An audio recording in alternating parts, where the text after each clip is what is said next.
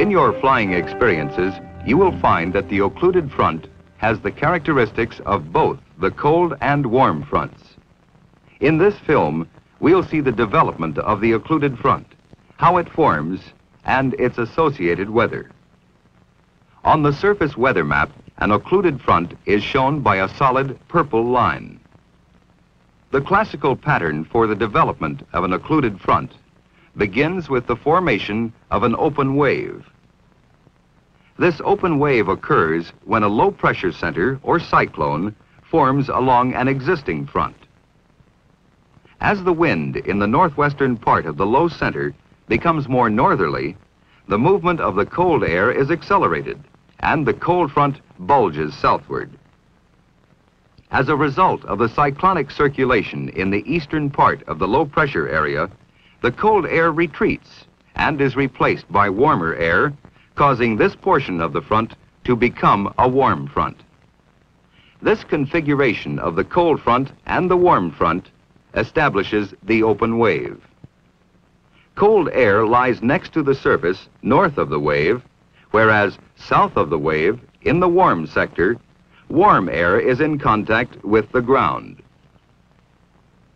Let's examine the two fronts in cross-section.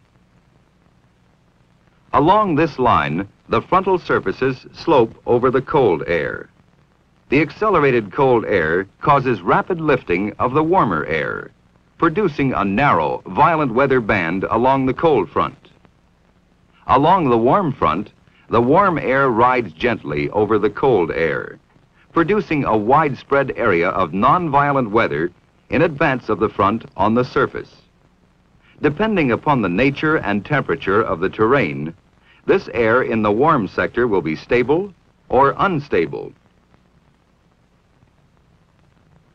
Now, with this open wave established, let's see how an occluded front is formed.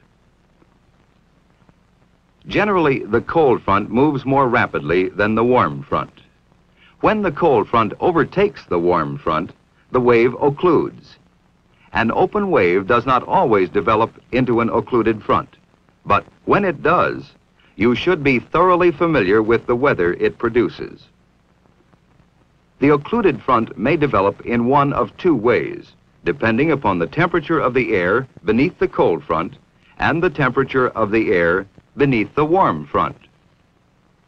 Here is an example showing the development of a warm front type occlusion the type most frequently found on the west coast during the winter. The circulation around the low pressure area draws polar air from the Pacific in under the cold front and also draws polar air from Canada in under the warm front. Since land areas are colder than adjacent water areas in winter, the polar air from Canada under the warm front will be colder than the polar air from the Pacific under the cold front. As the cold front overtakes the warm front, the cool Pacific air rides over the cold Canadian air. The cold front rides up and over the warm front, becoming an upper front. This is a warm front type occlusion. Remember, whenever the air under the warm front is the coldest of the air masses involved, a warm front type occlusion occurs. Another point to remember is that a warm front type occlusion produces an upper cold front that may ride out well in advance of the occlusion at the surface. The surface weather map shows this type occlusion with a solid purple line, an extension of the warm front. The upper cold front is shown with a broken blue line, usually well in advance of the occlusion. The winds around the occluded front tend to follow the pattern of the isobars. The second type of occluded front is the cold front type occlusion. This is typical of the East Coast in winter. Here, the circulation around the low draws the colder air from Canada in and under the cold front, while the cool air from the Atlantic flows in under the warm front. The cold front, with its colder Canadian air, overtakes the warm front with its cool Atlantic air and forces it aloft. The front aloft in this situation is a warm front. This is a cold front type occlusion. It forms when the coldest of the air masses is under the cold front. The position of the upper warm front is very close to the occlusion at the surface. The map shows the cold front type occlusion as a purple line, but now an extension of the cold front. If the upper front is shown, it is depicted with a broken red line. The winds about this occlusion will also follow the pattern of the isobars. Simply stated now, the warm front type occlusion has its upper cold front, and the cold front type occlusion has its upper warm front. The weather resulting with either of these is varied. You should understand, however, that certain characteristics are common to both type occlusions. In each case, the occlusion is a combination of a warm and a cold front and has weather characteristics typical of both.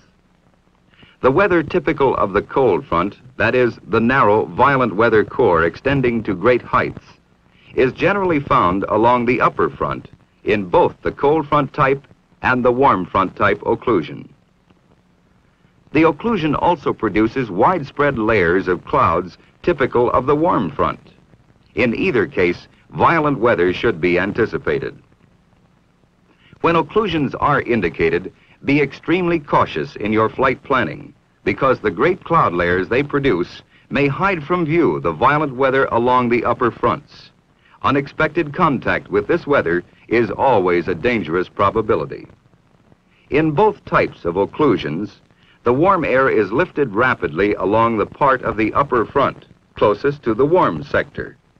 You must carefully study the weather at the point of occlusion and for distances as great as 100 miles along the upper front, for it is here that the most violent weather associated with the occluded front will generally be encountered.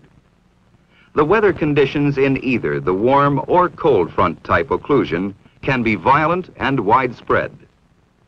With experience, your conclusion will be that each situation must be studied carefully and discussed with the forecaster to properly plan for flying through an occluded front. All weather facilities, plus the experience of trained personnel are provided for you. Your personal safety and your Air Force mission effectiveness are the end products.